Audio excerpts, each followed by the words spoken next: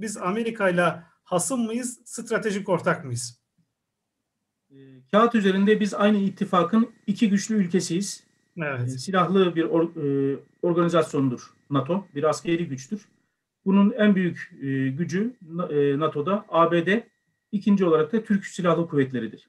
Evet. Böyleyken ikisinin gayet iyi anlaşması lazım diye insan düşünür. Ancak e, biz ABD politikasına baktığımızda şu gerçekle yüzleşiyoruz.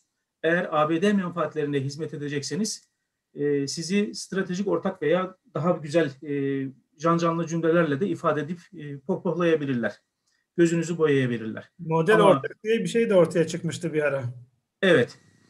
Ama e, sizin menfaatlerinize zarar veren bir durumda, menfaatlerinize zarar verdiği halde bir taraftan e, tekrar NATO'da bulunmaya devam ederek bir taraftan da ya burada da biz zarar ediyoruz ama nasıl yapsak ki bu işleri düzeltsek ki şeklinde bir itiraz hafif yollu dile getirmeye başladığınız anda e, sizin için e, düşman ülke olmaktan daha beter bir netice sizi bekler.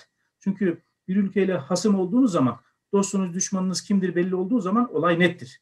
Ama evet. dostunuz gibi görünerek e, sizin e, kendi politikalarına hizmet edecek şekilde bir takım yollara kanalize etmeye, oyunlarla bunu yapmaya başladığı zaman o zaman durum daha tehlikeli. E, Türkiye ile ABD arasındaki ilişkiler maalesef e, bugüne kadar e, sözde barış üzere cereyan etti ama aslında hep Türkiye'nin zaaflarından faydalandılar. NATO'ya girişimizi hatırlayalım. Aslında Türkiye'nin NATO'ya girmesi ABD için elzemdi.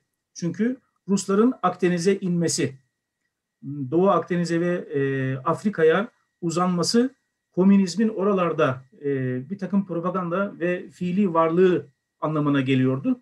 Bunu engellemek adına Türkiye'nin NATO'ya girmesini ABD istedi. Ama her zaman yaptığı gibi bunu kendi isteği için değil de Türkiye'yi istediği için yapıyor bir duruma getirdi. Evet. Ve biz isteyerek oraya girdiğimiz için biz taviz vermek zorunda kaldık. İşte Kore Savaşı'na katılmamızın e, en büyük sebebi budur. Kore şehitlerimizin en büyük sebebi e, ABD'nin bizim NATO üyeliğimizi oylaması, e, kabul etmesi yönündeki beklentidir. E, gerçekleşmiştir. Akabinde Türkiye ABD'nin müttefiki olduğu için bir takım askeri yardımlar da almıştır.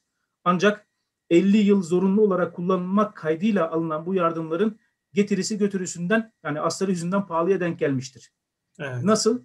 E, o 1940'ların 50'lerin üretilmiş sistemleri 50 yıl boyunca Türk Silahlı Kuvvetleri'nde varlığını devam ettirebilmesi için e, bakım e, anlamında, onarım anlamında, yedek parça anlamında Türkiye Cumhuriyeti Devleti bu varlığın kıymetinden daha fazlasını ABD'ye ödemek durumunda kalmıştır. 50 yıl dolduktan sonra envanterinden çıkarırken bu defa tekrar bunların yerine milli imkanlarıyla e, üretilmiş e, cihazlar, sistemler koymak noktasında adımları atmakta da geç kalmıştır. İşte bugün S-400'ü almamızın sebebi budur. F-35 projesinde yer almak istememizin sebebi budur.